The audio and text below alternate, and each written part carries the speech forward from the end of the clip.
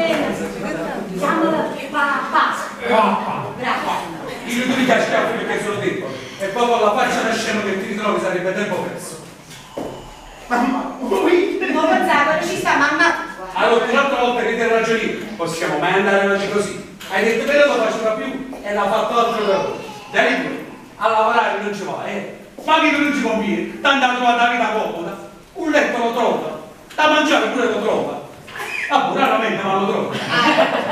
Ringrazio questa santa donna, che se non fosse per lei, tanti anni fa dice, pigliamolo con noi, è un orfanello bellino. È bellino questo qua. Capisci che pezzo di orfanello bellino? È brutto e maleducato. E, e non mi pigliate collo, papà. Ma guarda, ma chi te ne conosci? Quindi scemo con Matteo.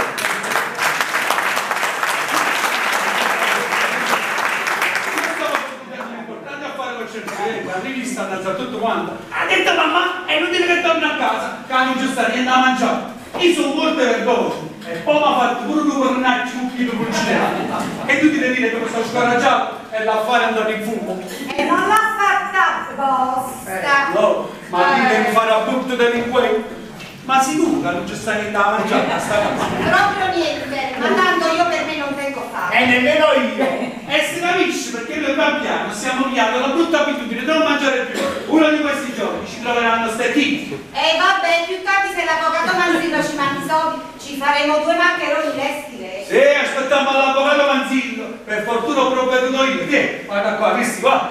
Un uovo. Hai comprato un uovo. E questo di milionario. Un piano con costo nuovo. Non l'ho comprato. L'ha rubato. Eh.